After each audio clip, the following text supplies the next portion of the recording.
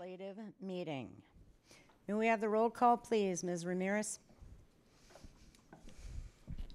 Director Burke, Here. Director DeWolf, Here. Director Mack, Here. Director Patu, Here. Director Pinkham, Present.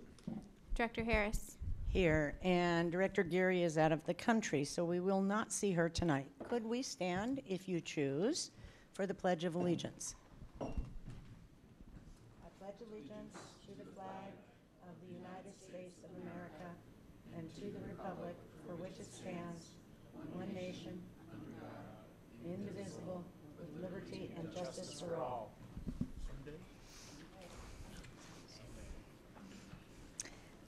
Do we have recognitions this evening? We do not. We do not have student presentations, but we do have superintendent comments. Superintendent Denise Juneau, your first meeting, welcome to Paradise. Thank you. Take it away. All right. Well, thank you. Um, Tonight is my first board meeting as your new superintendent, and I'm really honored and excited to be in Seattle and to have the board's confidence to lead the district. So thank you, Board of Directors. I really appreciate it. And I know that I made the correct choice in coming here because of the warm welcome I received from the school board, the staff, families, students, and the community. It was the city's commitment to public education and the district's commitment to racial equity that attracted me to the district. Every person I talked to during the interview process and as I've been out meeting people over the last couple of weeks shared a personal commitment to educational and racial equity. Ensuring racial equity, ensuring racial justice in education is no small charge, but I know from my previous work as Montana superintendent that positive change can happen, but the work has to be steeped in community. The solutions we develop in Seattle need to reflect and address the needs of our students and families. On Monday, I launched my entry plan, which centers around listening and learning because it's important that I spend time getting to know the district's strengths, challenges, and opportunities before making any changes or developing plans for the future. So far, I've met with all of the school leaders, the mayor, city staff, central office staff, the school board, families, and Seattle colleges. I've also met with student journalists, some members of the media, the Alliance for Education, and I attended the Manufacturing Industrial Council luncheon. Those were all great learning opportunities for me. Because Seattle Public Schools has close to a billion dollar operating budget and is one of the largest employers in Washington state, I've also been reviewing operational budgets, operational documents like the budget, our student achievement data, and board policies. And there's a lot to learn. But I feel so fortunate to be here now at this time. Seattle Public Schools is leading the nation in so many ways. Nationally, Seattle is considered a high performing urban district.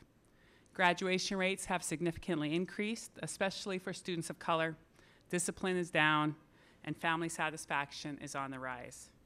Seattle offers a host of enriching learning opportunities, career connected learning, arts education, access to international schools and dual language programs, student supports that you don't find in every district. Those are all things to be proud of. Unfortunately, like many districts across the nation, we also have un- um, unacceptable opportunity gaps. Like the Board of Directors and the staff of Seattle Public Schools, I am deeply committed to ensuring each Seattle student graduates college, career, and community ready. I look forward to supporting the district and taking the necessary steps to ensure that educational excellence is realized by every student in our care. I truly believe that together, Seattle Public Schools can be the best public education system in the nation, providing every student the education and future they deserve. There's some good news across the district I'd like to share. Um, we have a lot of good news, and here's just a couple of highlights. The Summer Leadership Institute, on June 28th, I was an excellent company as I met with the school leaders at the June Summer Leader Institute. I got to hear about some of their successes and challenges that we will address together as we move forward. Um, yesterday, I attended the Mayor's Orca Opportunity Signing event with Board President Leslie Harris. I was inspired to hear from Rainier Beach High School student leader Ari Pat- Patu at the event, and I think Director Patu knows him a little bit. Ari and his peers raised their voices, and the city listened, and the city also followed our lead, as Seattle Public Schools was already offering Orca passes to about 6,000 high school students.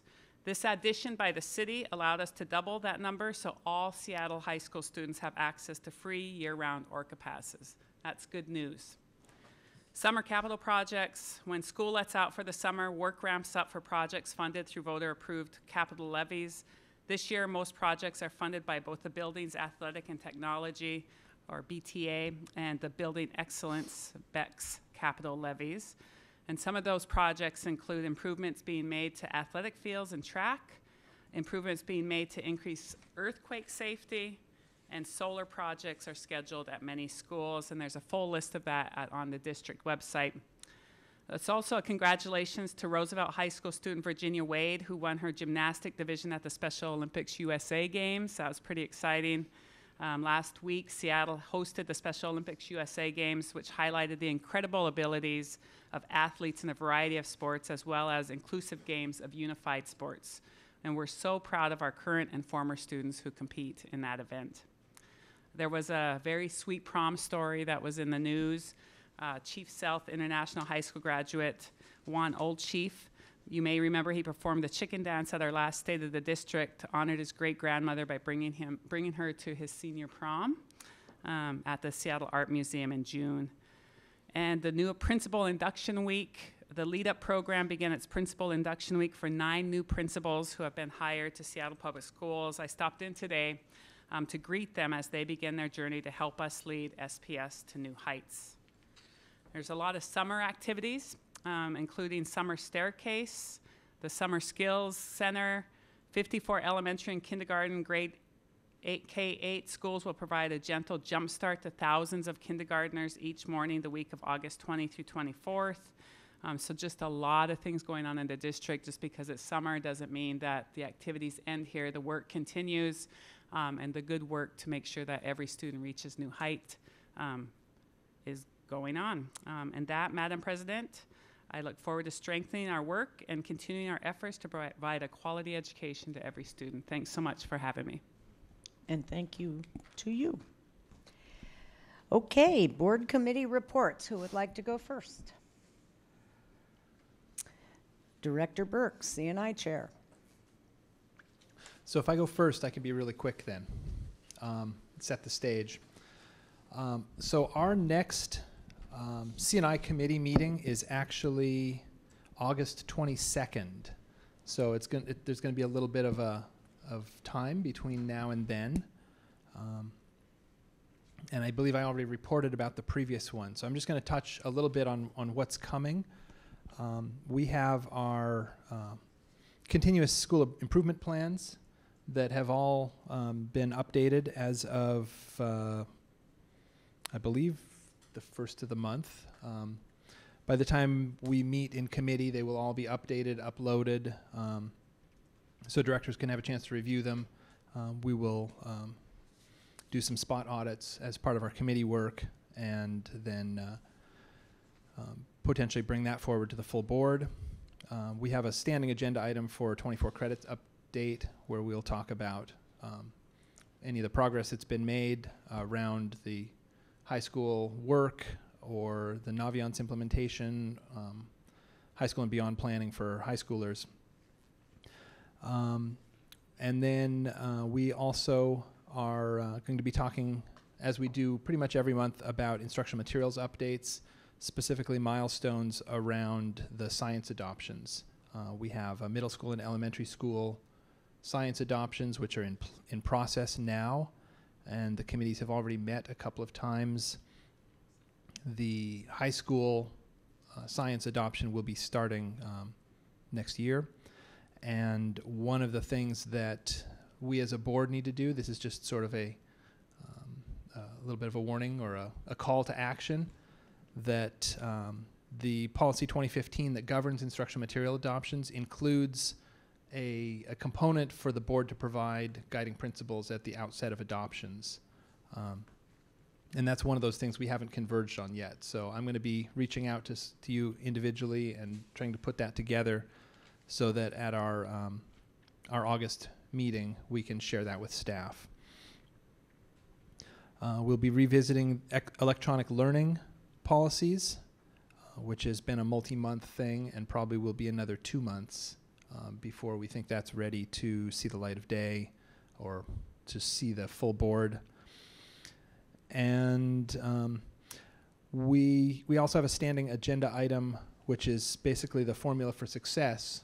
Um, we rotate through every meeting, where we will um, we will get a report on each of the three pillars: um, MTSS, EOG, and PAR. So the multi-tiered systems of supports is what's coming in August. Um, this is uh, one of our SMART goals, and it's the first time that we're being presented on the new, newly adopted SMART goal. So the request to staff is to um, to create a just a, a high-level milestone schedule that can help us uh, throughout the year to see how that progress is being made on it. Um, essentially, to whatever tool they're using to guide their work, um, to bring that as a high level, so we can ask the right questions at the right times. Um, and then we also have a standing item on the advanced learning update, which will talk about the work of the task force um, and see what sort of progress has been made by then. Thank you so much. Next up would be Director Pinkham, A and F Chair, Audit and Finance. Uh, Katsiaya, thank you. Uh, yeah, our last meeting was back in uh, June 11th, and I had an update on that meeting, our last board meeting. And uh, I'm going to have to wing it here because I don't have my notes in front of me. But I was looking at it. I need to check with JoLynn. On my calendar, says our next ANF meeting is until September 4th. There's none in August. Uh, although we do have, I don't know, September 4th is our quarterly audit meeting, and the next ANF meeting is until September 10th. I, I need to make sure my calendar is reflecting correctly that we do not have an audit meeting in August. That's correct. manager, correct. Correct, yeah, okay, so, not that we have the summer off, but uh, one of the biggest things that we're doing now with definitely Julian's help and all the staff here is the budget that we're gonna be talking and voting on tonight. Um, And then also, as we project, as we go on future, of how much impact of the McCleary decision now helps us out maybe next year, but future years, we still have things to discuss and look forward to. So that's as much as I can share right now, um, but uh, thank you very much. Short and sweet. Was that enough, or do you want me to ramble on some more? Director Mack, Chair of Operations, please. Um, I'm also going to be short and sweet. Our last meeting was actually prior to our last board meeting where I gave a brief update there. Um, uh, but our facilities master plan task force um, has launched, uh, had our first meeting on Monday.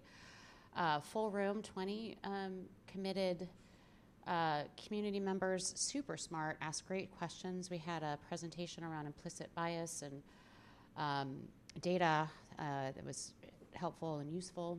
Um, and you can find information about the task force on the website. Um, has the dates and uh, meeting notes will be posted, etc. Um, one quick correction to my um, colleague is that CNI is actually on August 21st. You had me really concerned because I was like, whoa, wait, my meeting's on August 22nd.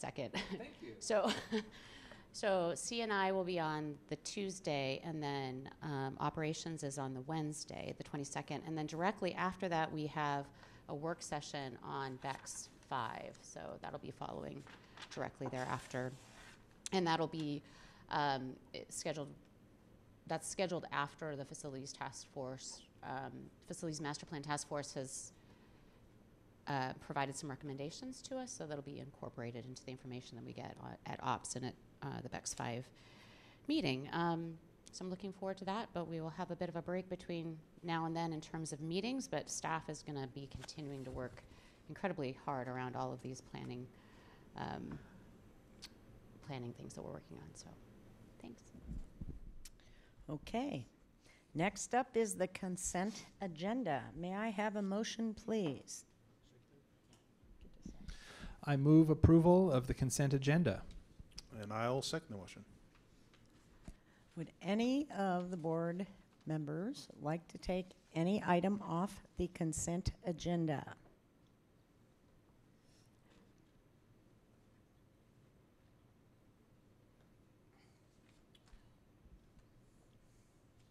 Seeing none, all those in favor of passing the consent agenda, please signify by saying aye. Aye. Okay. It is 4:30. We have a complete hour before public testimony. But let this be a caution to my colleagues that we are not going to take a complete hour in our board comments. So we can move our board comments up now. Who would like to go first?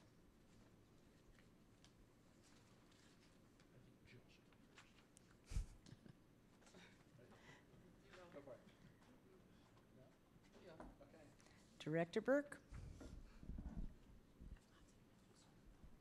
So I actually have even less to say around board comments than I did around committee reports. Um, I will confess um, that I have already taken a vacation. so that's one of the reasons that uh, it's been a little bit of a light load in terms of school board things. Um, it was really nice, but uh, I'm excited to be back. So um, some of the work that's happened for me. Um, uh, Superintendent Juneau mentioned the Manufacturing Industrial Council uh, luncheon that she attended. It was actually a two-day event, um, and she was kind enough to attend the first event, the first day, and I was part of the second day, which included a leadership luncheon.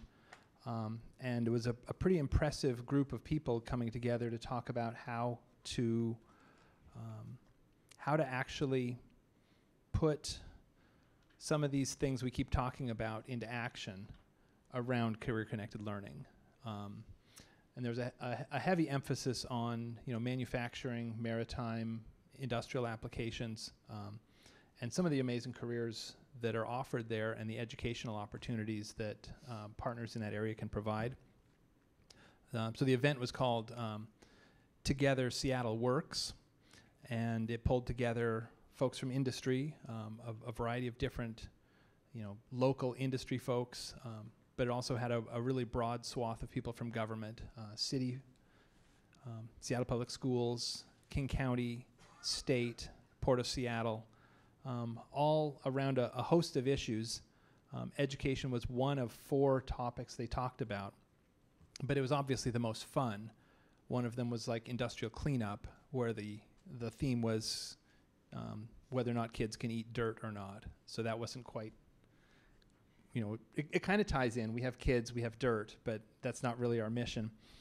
Um, so it was a really, you know, I had I had the opportunity to do a sort of a keynote speech there, um, and also heard from Superintendent Chris Reykdal, who was extremely eloquent in describing the challenge of the K-12 system um, in preparing students not to be workers but to be thinkers um, but to prepare them in a way that they will succeed in a working environment. Um, and he, he just, he absolutely just hit all the right points about how we have um, marginalized entire groups of students by um, putting them, you know, tracking them in into programs um, that, you know, because of preconceived notions and um, that it's time for that to change. And so it's really great to hear that from state level leaders and to see everybody in the room just nodding their heads and grinning from ear to ear.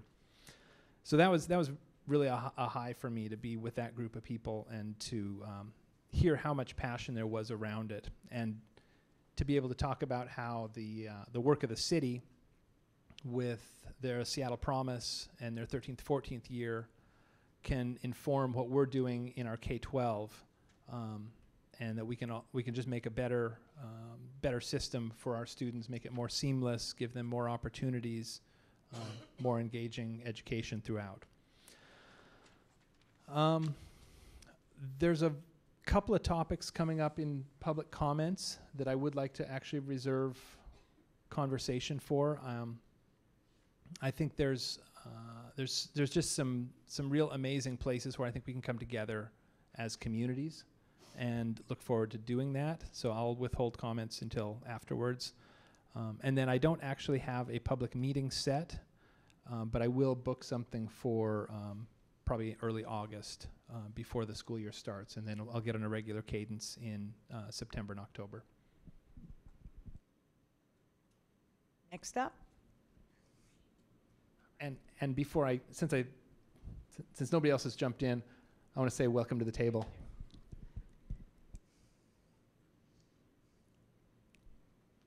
Next up. Colleagues, do not all yell at once. Director Pinkham, please. All right, kind of, kind of the awkward pause here uh, we're experiencing. Um, let's hope the rest of the meeting goes a lot faster, a lot more entertaining. Uh, But thank you, and hopefully everyone's enjoying their wonderful uh, summer. Definitely a beautiful day today. And I too welcome Denise, uh, Tatsa Payne, thank you for coming. Uh, And I mentioned last, I think one of the last meetings, I'm starting to learn my language the best that I can. So I- if I use a few words, I know the, the closed caption people may ask me to, for spelling, I'll try to provide the best that I can. Uh, But thank you, Tots Kalau, good evening. Um, My comments tonight, I think there are definitely going to be a lot that I'll save uh, for after public testimony. Um, I still just want to voice my support that as we go along, that how can we get Indian Heritage High School, a Native focused school back, not just for our Native students, but for the entire community, because it's going to benefit everyone here as we learn more about the indigenous people of not only the Northwest, but also across the globe. I think that this is a good school that, a type of school that can help provide that, the community input that we're looking for to involve schools, the challenge we're asking our teachers to engage and get to know each and every one of your students. You know, that's why hopefully I see this uh, could be a way, an avenue for us to get there. Um, I recently came across uh, a paper, or actually a, a book in chapter seven, Decolonize Indigenous Education in Post-War City, talked about how Native women were very active in bringing education to the Native students in the Detroit metropolitan area, and how successful it was, and the challenges it faced as well. The schools that they created there unfortunately don't exist either now, but you know what they did and the leadership that they had helped establish the schools and gave them strength. And uh, so hopefully, as we look at this, and I would like to see go forward that we start looking for those leaders now. You know, because we're not going to be able to open the school tomorrow or maybe next year, but we can start the pathway so when the school opens, it will be strong, and students will want to come and not look at it as necessary. Uh, something as a last choice to get me through, but as the first choice, this will get me through my education. Um, just looking at some of the comments in in the paper that I, I was looking at, uh, give vision to the. Uh, make sure I get her. Uh, uh, Saginaw Anishinaabe woman, uh, Judy Mays, and I believe uh, another relative, Esther Mays, and what they did to bring that to the Detroit Center. That they actually had the Detroit Indian Education Detroit's Indian Educational Cultural Center, and also the Medicine Bear American Indian Academy that were founded there in the Detroit area. Uh, and, and again, came after the post-war, um, and just how successful they were and, until they had a challenge and couldn't overcome. But I think, again, as a our superintendent, you know, notice we are a strong district. I think we can sustain this, and uh, I look forward to hopefully continue this conversation as much as we can throughout the summer and as we enter the new school year so that we can hopefully come to, a, for me also, a closure to what happened to Indian Heritage High School. Um, that was it closed correctly or wasn't it? Uh, but we'll, we'll go on. Uh, just want to know quickly, they had the, just what they did there, the Indian Pledge, which I thought was the Indian Pledge, which they had, I, I always respect myself and others, and never fight or call others names. D, don't do drugs. I, improve in school.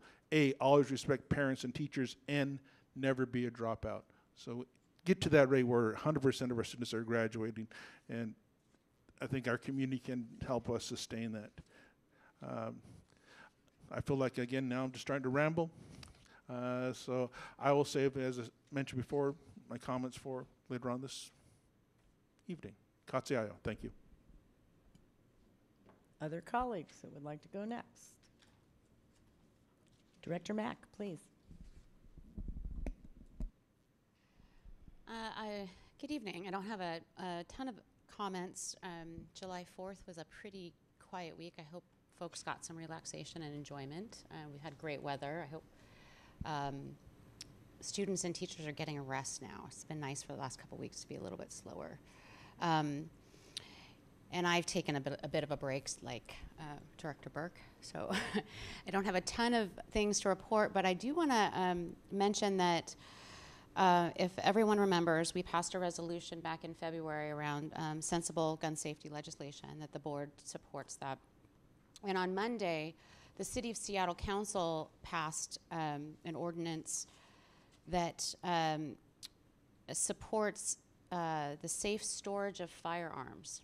Um, and it's a, a, a sensible uh, law that'll um, help keep our kids safe. And just wanted to let folks know that that's happening. And I think we might be supporting some education in terms of sharing what that means and, and the, um, the supports that are out there to help um, people have the right um, boxes and uh, types of things to uh, store guns if they actually have them, so that they don't get into the hands of, of uh, folks that could hurt themselves or others. Um, and um, so excited that that happened with the City of Seattle on Monday, as well as uh, the ORCA passes. Um, excited to see our continued um, partnership around uh, planning for our buildings, and um, just simply want to welcome Ms. Juneau. Thank you.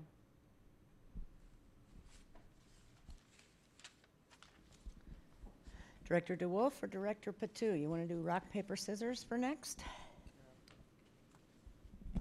Director DeWolf, thank you. Thank you, President Harris. I'm happy to go now. I don't have much to say other than uh, had a really great uh, breakfast meeting with Superintendent Juneau, and to start that, uh, conversations about personal goals, but also just getting more um, connected to our work here. So I just appreciate that opportunity.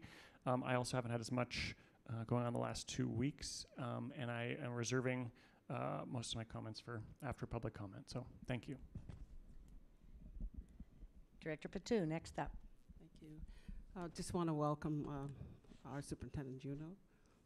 And also, um, it's great to be back. Uh, A lot of things going on in various places, and hopefully to uh, say more on during our next comment times. Just thinking right now.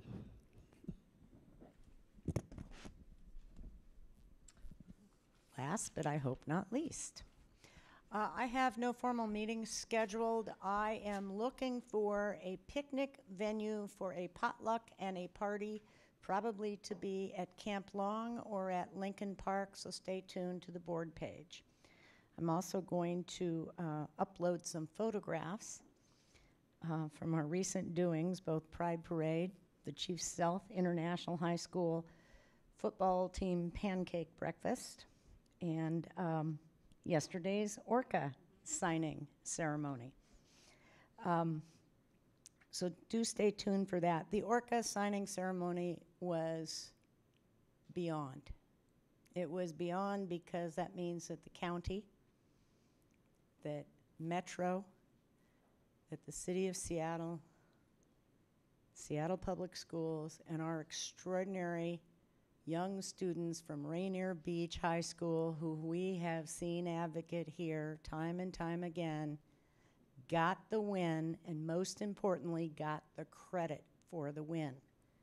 And that means that over 5,000 high school students will have year-round Orca passes so that this city, in fact, this county, will be their oyster.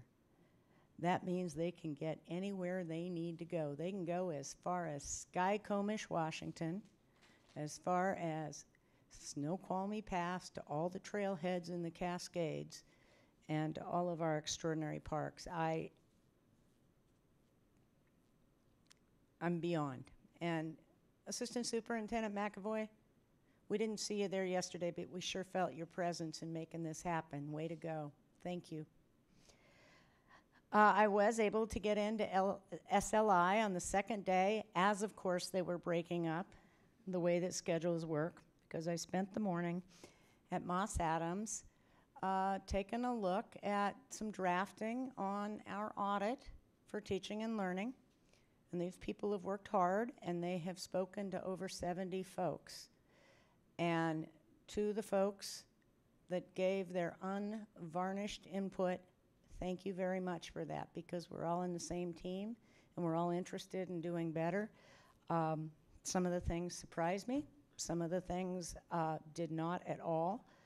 And the whole concept of benchmarking and what about, what about, what about, because for every sentence I had 10 questions, because this is a complex $1 billion organization with 8,000 employees, 54,000 kids, 104 schools. Um,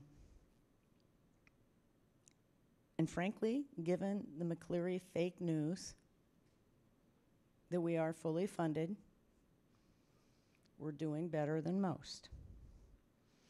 Uh, other issues of concern and time investment, deep time investment.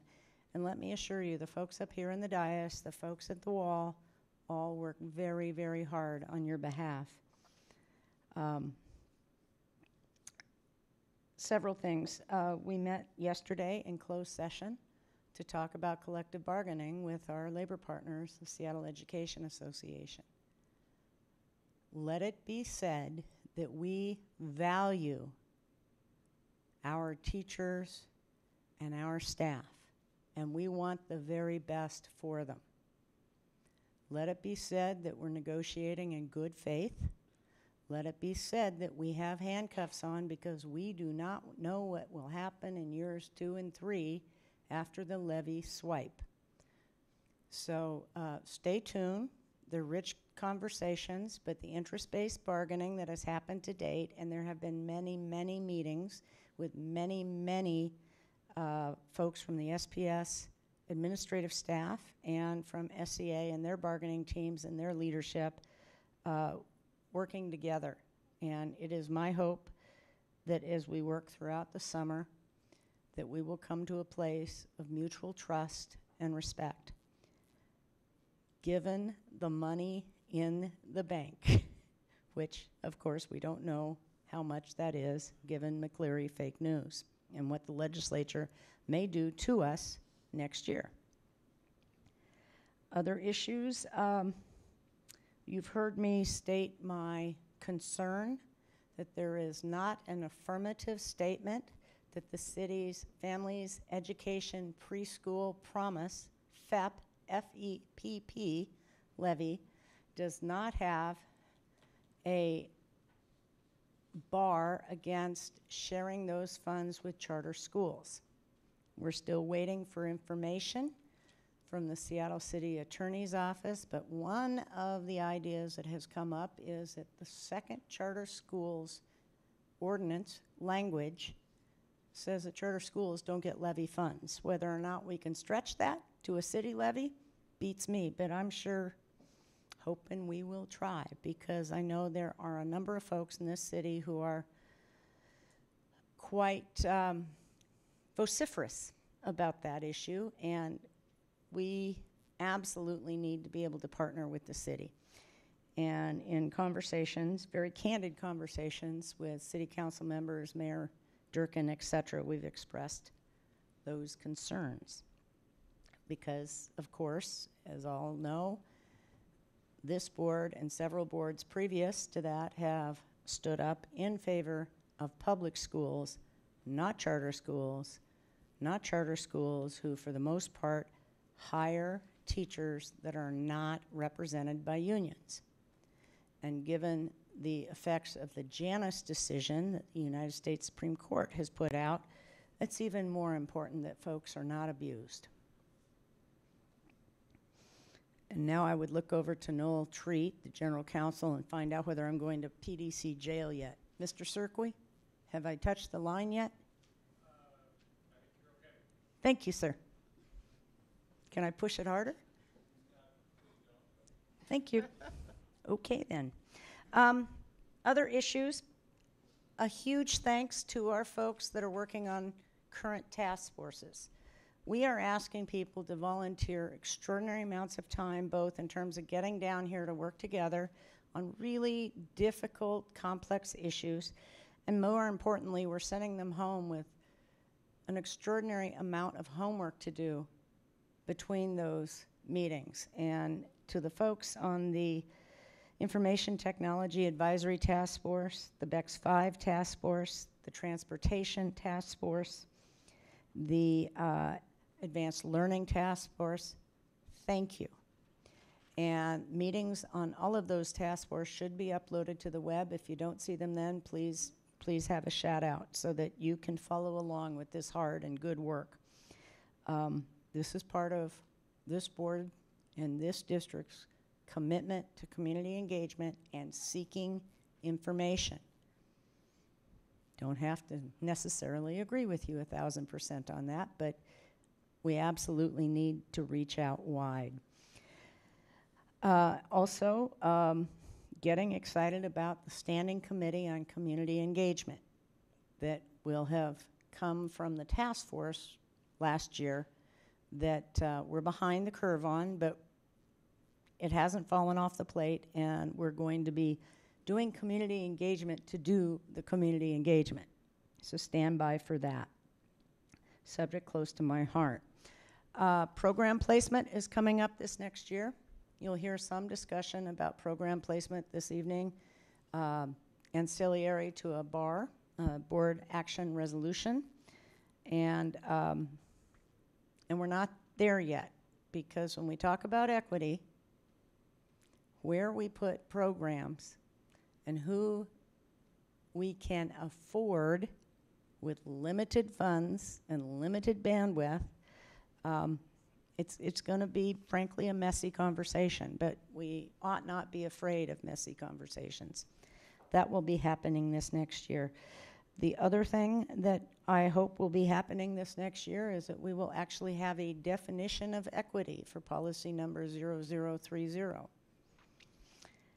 Uh, other issues that have occupied a fair amount of my time are the Concord literacy, Spanish literacy uh, purchase from the Concord uh, equity funds in supplement to the K5 ELA CCC adoption and how we interact and intersect with our Equity Race Advisory Committee, how that works, whether or not that needs to be codified, whether we need to understand it better. But we've got some loose ends there for clarity that, that I think we need to, uh, to talk about, and they may or may not be messy conversations, but they're absolutely worth having. Um, I wanted to follow up with Director Mack's comment about gun boxes, gun safes. Let it be known that the Seattle King County Public Health Department will give you one free. And um, I don't know, thinking out of the box might be of value to uh, have a depository here at the John Stanford Center if folks want such a gun safe. Come down, pick it up, and hopefully save a few lives. Last, um, we lost a West Seattle High School student last week in a motor vehicle accident. And thoughts go out to his family and certainly to the entire community. And there's nothing more sobering than getting those phone calls that we've lost one of our students and, and we need to stay safe. And I, I keep thinking about the, uh, and I'm old enough to remember this, unlike many folks, um, the Hill Street Blues. Let's stay safe out there. It's, it's a long, hot summer, and we need to make sure that our students are valued and most all safe. Thank you. Now we are going to take a break for 30 minutes. I wish we had a dance party or some such, um, because our next order of business is public testimony, and we cannot start that until 5:30. Thank you. Stretch.